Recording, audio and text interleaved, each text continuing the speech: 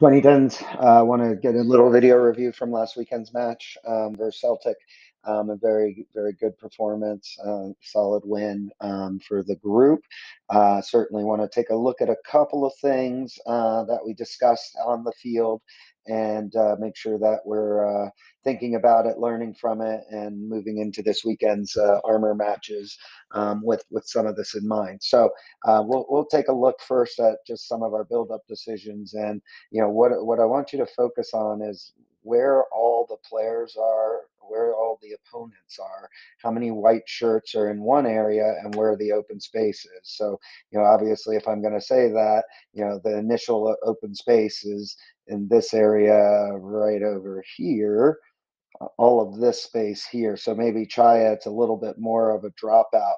Alex, once you turn your body this way, you know, probably it won't be a good idea to try and turn back against the grain. So we've got to now try and find a pass. If it's not to Chaya, you know, can we play a diagonal, you know, into Naomi, who's stepping up into this area uh, to get involved. So again, you see, you know, there's a potential to play to Chaya there um, doesn't happen. Um, so she gets back up and together.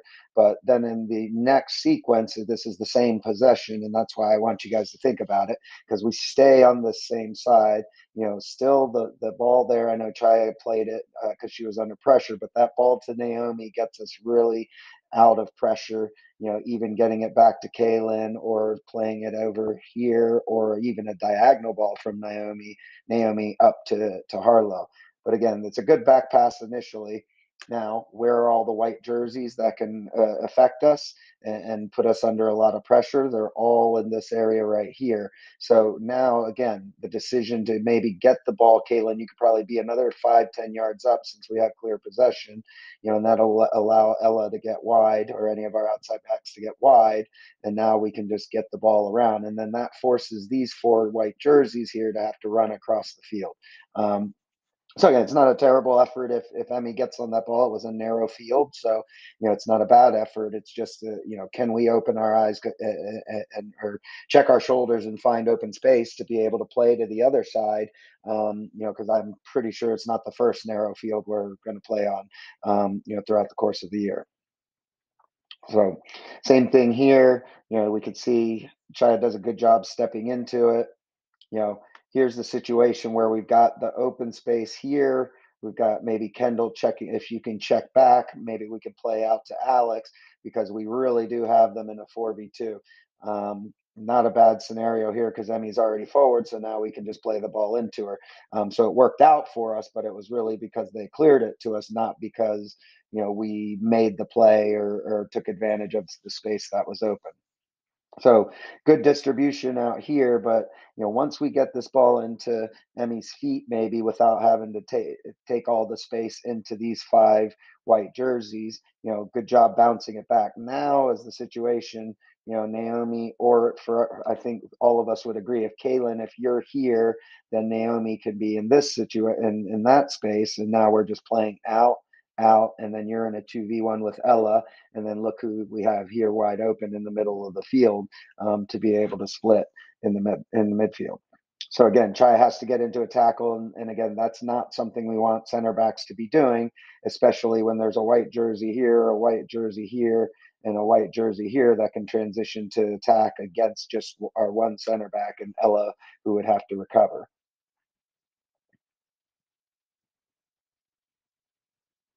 You know, it's the same possession again, recognizing that when we get on the ball here, it's where's the decision, where's the open space. Now you can see that their players are all in the middle of the field defending us here. So now the wide area is clearly going to be the spot where we want to play. Look at the white jerseys. Maybe Naomi is a better option here to be able to play her into that or into Kaylin so we can get the ball because you can see all the open spaces right there. So maybe if it's even Chaya, you're clipping a ball into Kendall or whoever the nine is at that moment, and we're able to get out of trouble there. Um, but again, you can see, let me back up and show you, you can see the space that is available right here, you know, that we could have been a little bit more successful in. So pretty good scenario here. We just want to make sure we talk about the runs into the 18. Good security pass from uh, Riley there. We've got them. We've got 1v1, 1v1, and 1v1 right there. Um, so as we get the ball in, in behind, again, with Celine here, it's not a, it's a great turn. You know, maybe we can play into these players here who can also play Emmy, but Celine does a great job of turning. And now there's the gate. So we have the gate and we play her through. Now we've got our outside back ahead of our 10 and two of our forwards. And so this is why it's really important as the nine, whether Kendall, Celine, whoever it is, Harlow, you know, as the nine, as Emmy's doing this, we want to get to that near post. And whether it's finishing it or laying it off or dummying it, because you'll see in this that Amy Lynn and Harlow both end up in the 18. So think about Kendall, if you take this player with you, now it's going to free up space for Amy Lynn. And I think we scored on it like that in the second half. But anytime an outside back serving the ball and everybody's in, and we have three players in a 1v1, inside the 18 one player at least has to play has to make the run into the near post so that's something just for you guys to think about um, we got a few clips of the first ball and covering um, that comes out uh, to our, our center backs and where our outside backs and sixes should be. You know, so this first one here, again, we don't, we're not really in a good spot to be able to cover um, or challenge and then cover the ball so in this situation, you know, it, it, almost bounces too many times where they're able to get it. And we like our chances. We're still 2v1 here. So there's nothing wrong with Naomi, you going in and putting in the challenge there. And then we just got to cover her a little tighter. You know, Emmy's tracking, and then you, and you want to just slide over into that area there. Overall, it works out for us. Um, but as you guys know, we do uh, concede a goal on it um, later on in the match. Um, so it's something we want you guys thinking about. The ball is going to be served away. It's a little better. Try coming forward, getting on the ball, and then finding a security pass. Now, can we open them up a little bit? That would be ideal. Okay, and we do open them up. You know, for Celine, and I know this isn't first ball cover and everything, but Celine, maybe in this situation, because of the way Emmy's being pressured, you want to maybe come back a little bit towards the ball and then receive it so that maybe Kendall can then see this situation here. But again, we get on the ball, good ball into Kendall here. Kendall, we've got to either lay this off or flick the ball into Emmy there, who's been 1v1 with the goalkeeper. But on the loss of possession, you can see what's going to end up happening in just about now.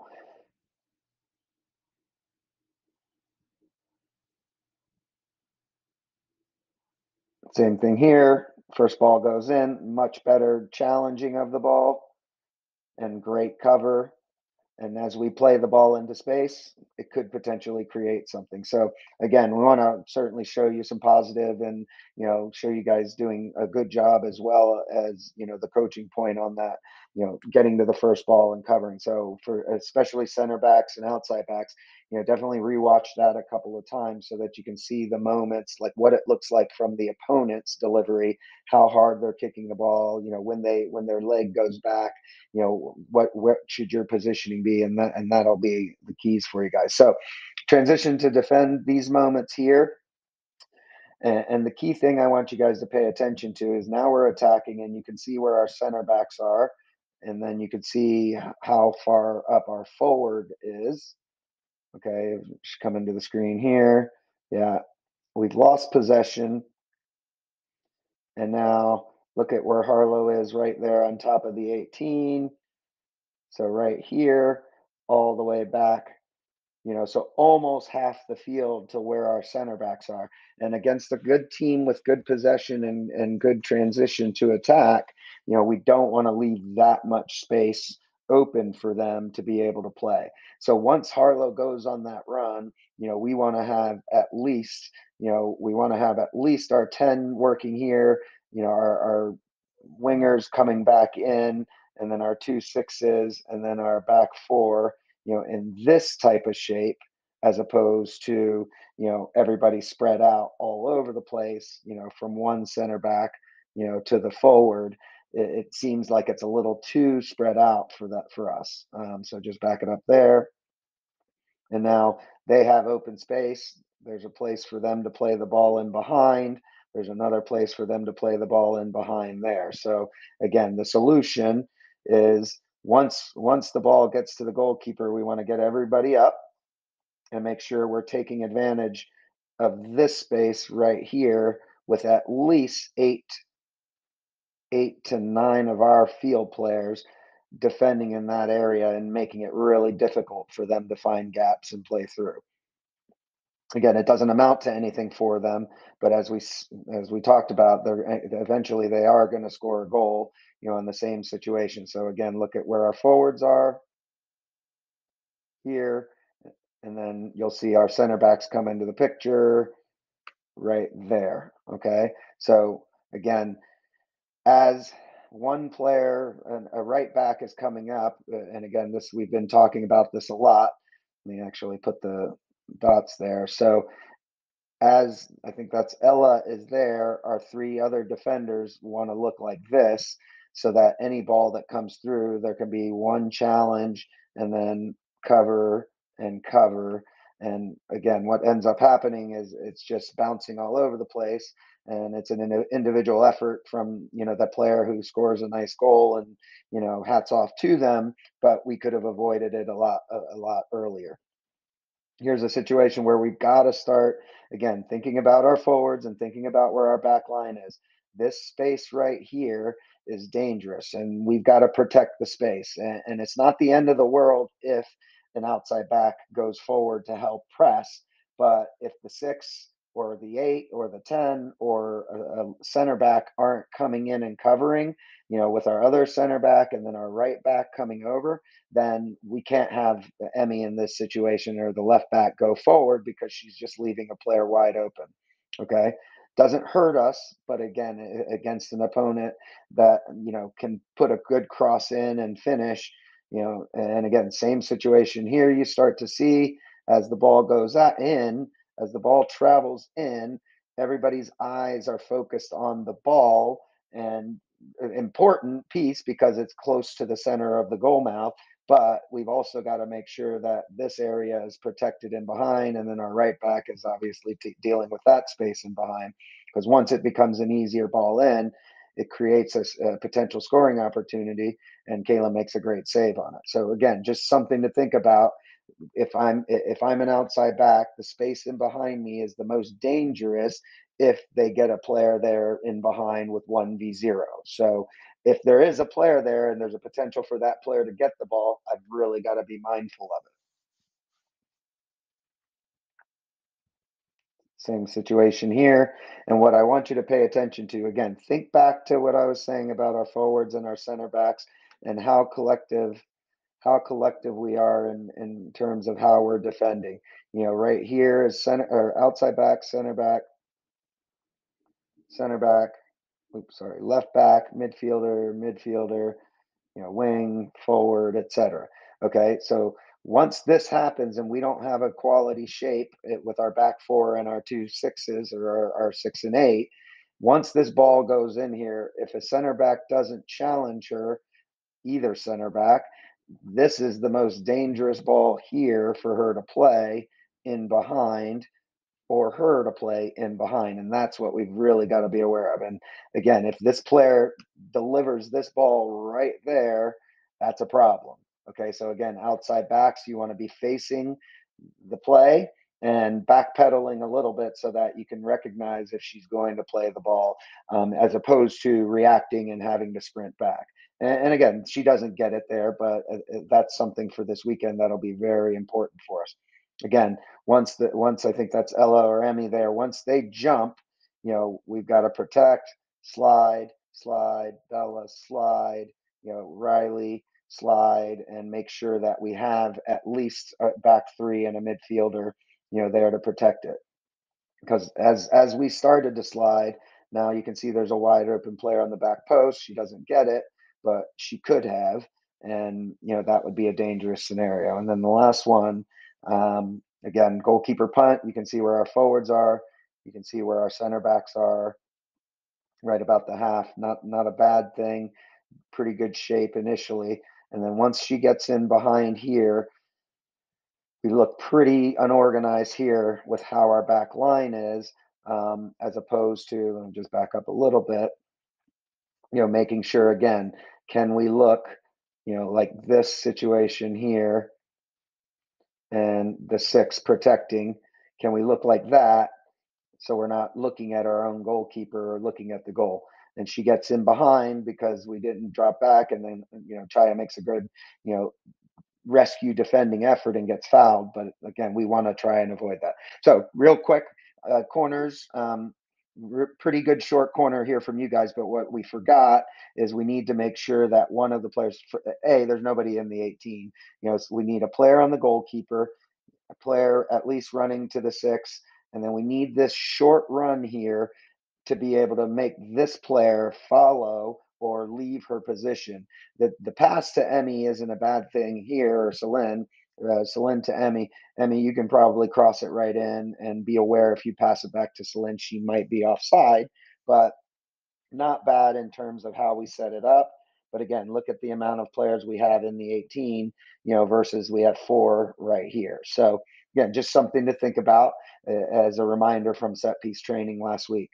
Uh, this situation here, again, if Celine, I think that's you, or Soph, that's you, as you're on the ball here, once you see Avery coming here and nobody's following her, maybe just pass her the ball and, and she can turn and go to goal. You know, we want to recognize these situations. Not one person switched with with Avery in that scenario, so we want to think about that a little bit next time. If they don't come out with you, then just give her the ball and, and let her serve it in. It's a great delivery um, from Avery, but think about the scoring opportunity we could, could have created. Um, same thing here. You know, you already see Avery's coming over, and in that situation, you know, just place the ball here, pass her the ball. This one's tying her shoes. This one's facing this direction. You know, this one's walking back. This one's, you know, figuring out who to mark. They're not paying attention. So anytime a team is asleep like that, get the ball and play right away and, and dribble to the goal. So again, now we did do it correctly in terms of having that first player. And so I, what I want you to do is I just want you to watch this player here so you can see the effect it has when we when we come out, when we come out, it really helps to create some space and if this player can get in there we put we get a scoring opportunity or, or if there's a deflection. So again overall there's you know good good solid performance from you guys. Just wanted to give you a couple of thoughts. Um, you know any questions don't hesitate to ask. We'll see you soon